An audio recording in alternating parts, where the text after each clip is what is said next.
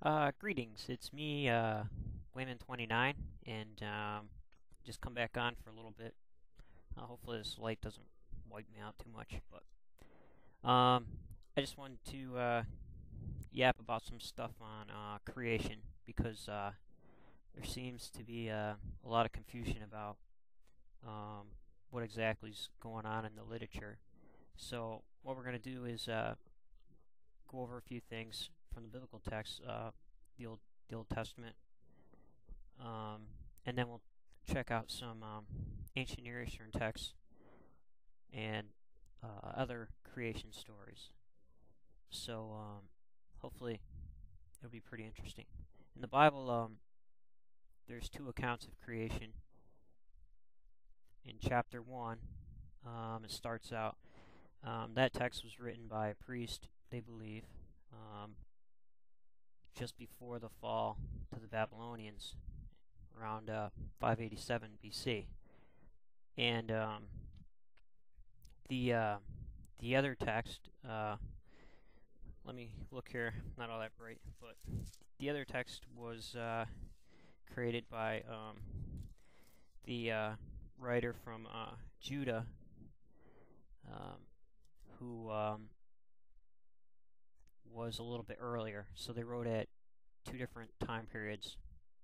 And um, the, priest, the priestly text, um, all this is based on the documentary theory by uh, by uh, Richard um, Elliott Friedman um, and earlier scholars who said that the uh, Old Testament was kind of patch patchworked uh, together with different writings in different time periods. Mainly the uh, priestly text is concerned with uh, priestly codes. Um, there's also later um, a, a, writer um, they call D or Deuteronomy, um, which uh, put together the law codes that they found on the reform in uh, King Hezekiah, and uh, that's written about in the biblical text. Um, the priestly code, he, he's mainly concerned with numbers and uh, doing things right. So, so the first uh, chapter, Genesis, and the worst um, thing that probably was done was the split into chapters, um, because Genesis chapter one really runs to uh, Genesis chapter two, verse three, um, where yeah, where um, Elohim blesses the um, the day, the the seventh day of creation. And uh, just to talk a little bit more about the um, the naming of the gods, uh, the um, conservative viewpoint, Christian viewpoint, was that when God said, "Let us make man," um, it would mean the Trinity. However, in the Jewish point of view um, of that time, and from the straight up Jewish writings, um, that was not the case. And, a lot of scholars uh, believe that um, when God said, let us, it referred to the, uh, the heavenly court. And um, the name uh, Yellow Elohim means the gods, but a lot of times people use um, the definition uh, God. However, the name Elohim is is definitely plural. And in the ancient Near East, the name El was God, and El was also the name of the Canaanite pantheon god, who was later um, pushed out of the uh, the role as king um, by Baal. Um, Baal just became more popular, so. Uh, but it was kind of funny because anytime they wanted to do something uh, like Baal or Anat or um, Astarte, um, they would have to run and ask Al permission. He'd just be like, "Yeah, whatever." So he he was kind of like hanging out in the background. Then as Baal came on the scene more and more, uh, he was kind of shoved back. Um, so what happens is uh, in Psalms 82, um, there the writer has Yahweh taking the place of El in the heavenly court and addressing the gods.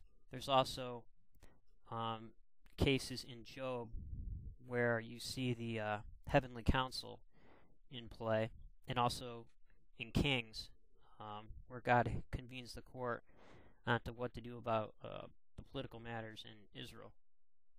Uh, I'm not. I can't remember the reference right off bat, the bat, but it's there. And um,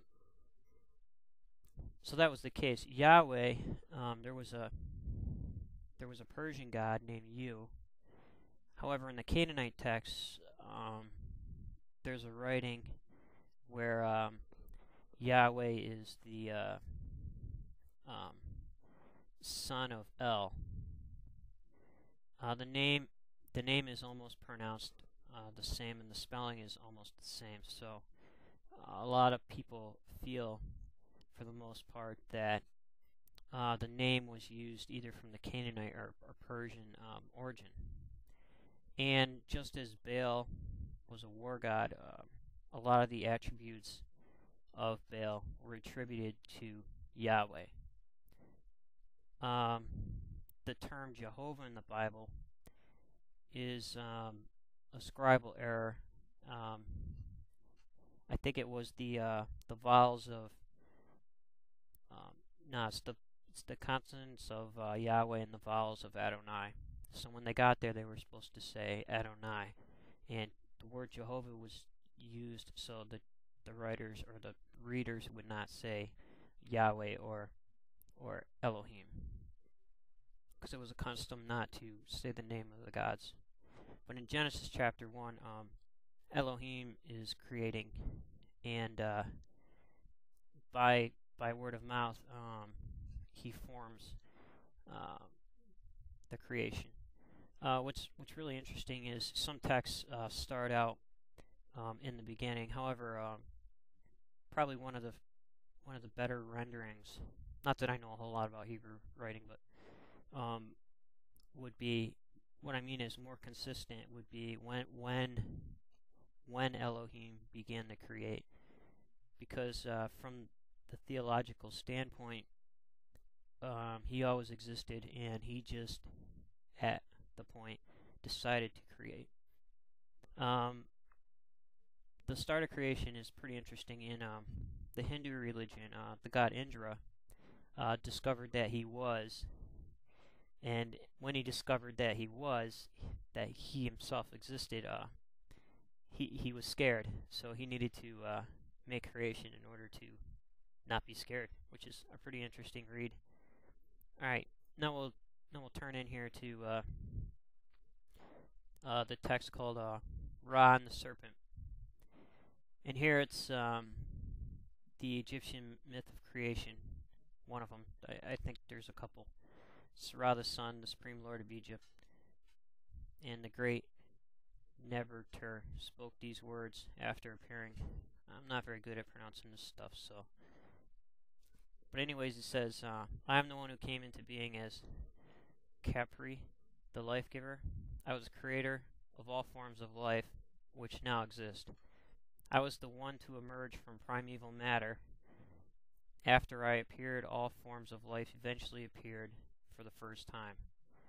Just after I appeared, I was alone, and I raised up my hand. For neither heaven nor earth existed, and there wasn't any plants or dry land nor or reptiles in Egypt. Then I spoke, and the living creatures arose out of Nun, the, prim- the primeval uh, sea. I put all the creatures back into the state of rest in Nun so I could find a place to stand. I made up a plan of creation in my heart, and I started my work by leaving a foundation in Egypt. I designated every living cr- creature by myself. I was still alone, for I had not exhaled Shu, the wind, and I had not spat Tefnut, the rain. So here we have uh, the foundation being laid in Egypt. And of course, everybody, when creating um, these uh, belief systems and theology and uh, myths, um, you always wanted your nation to be uh, number one. So you read a uh, Babylonian um, creation account, the same thing would be the seed of creation would be Babylon.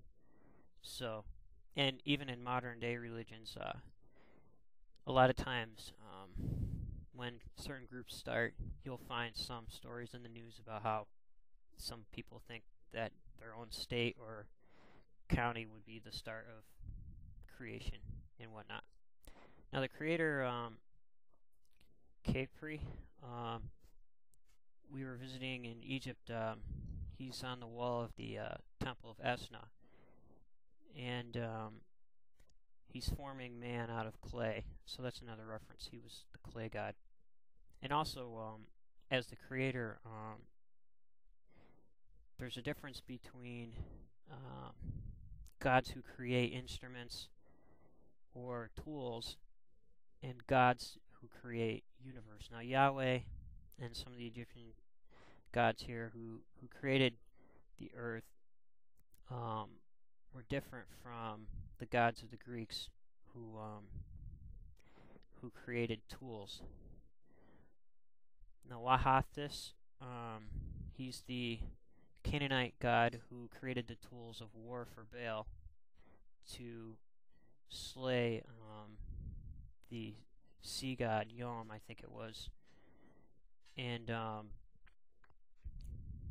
I can't remember the Greek god of creation who the chariots and the, and the houses, but however, uh, somebody could look that up. But anyways, that would that would be a reference. And um, so we'll, move on to Enki and the World Order. Um, the Enuma Elish the Babylonian uh, creation myth explains how national phenomenon and social institutions on Earth came to being and were regulated. So we have some of the same stuff where people just uh, talked about how um, things were established. Um, let me find a good spot here to start. There's also uh, a story on um, uh, the creation uh, myth where um, the gods actually had to work. And one reason why they worked, they got tired of doing the work, so uh, they created man to uh, do the work. Uh, here is Enuma Elish uh, creation myth. Um, when there was no heaven, no earth, no height, no depth, no name, when Apsu was alone, the sweet water, the first begetter, and Tiamat, the bitter water, and that returned to the womb, her Mummu, when there were no gods. When sweet and bitter mingled together, no reed was platted, no no rushes muddied the water. The gods were nameless, natureless, futureless. Then from Asp, Apsu, Tiamat, and the water waters, gods were created in the waters, silt precipitated. So here you have even um, the uh, the gods being created from the waters instead of, which is pretty neat. How um, man was created from the clay in ancient Near East, uh, sometimes mud and sticks and things, and, and here you have um, gods also being created from from certain elements.